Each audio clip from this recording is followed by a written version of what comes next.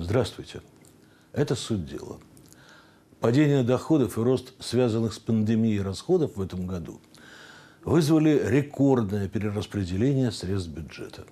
К октябрю свое назначение поменяла уже треть годовых ассигнований – 8,5 триллионов рублей. Это следует из отчета счетной палаты. Несмотря на дефицит средств в казне, при одновременной большей потребности в расходах появление традиционного бюджетного навеса не удалось избежать и в этом году.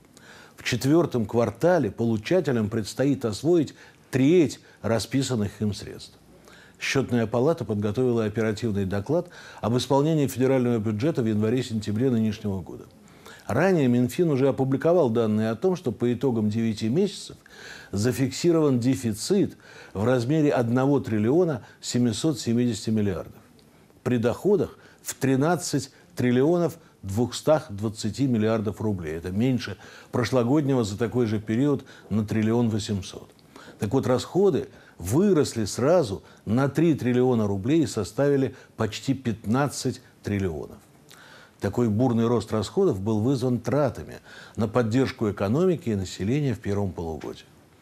На фоне столь масштабного изменения доходной и расходной частей госказны аудиторы фиксируют и рекордное изменение бюджетной росписи в этом году.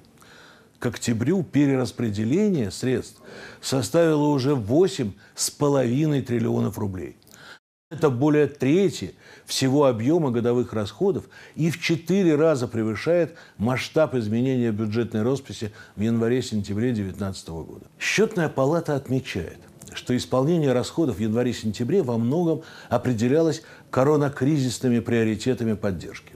Поэтому высокие показатели уровня исполнения расходов зафиксированы по разделам «Социальная политика», 82% против 74% за такой же период прошлого года. Межбюджетные трансферты – рост с 65 до 78%. ЖКХ – рост с 54 до 74%.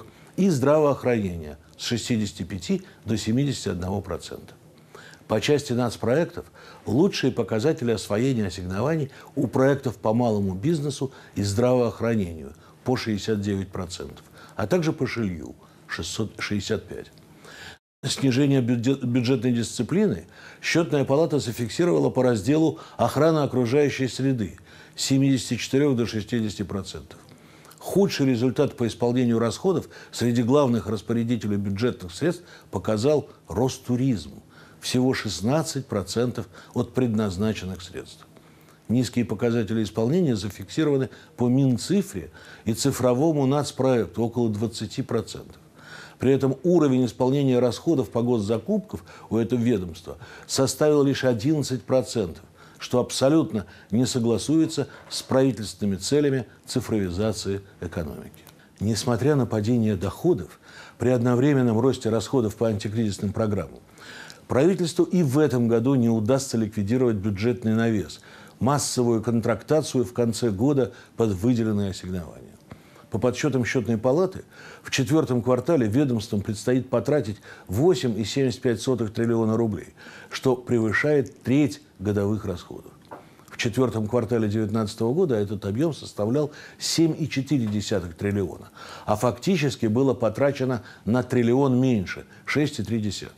И это при том, что в нынешнем году исполнение бюджета контролируется дополнительно. По поручению правительства главные распорядители с 1 октября должны дважды в месяц представлять в Минфин данные о средствах бюджета, наиболее подверженных рискам неисполнения. Все это говорит о низком уровне бюджетной дисциплины и недостаточной организации работы с бюджетными средствами в министерствах и регионах. Время тяжелое, денег не хватает, а тут еще и чиновники по своей нераспорядительности лишают нас уже выделенных бюджетных ассигнований. Это была суть дела. Все будет хорошо в исторической перспективе.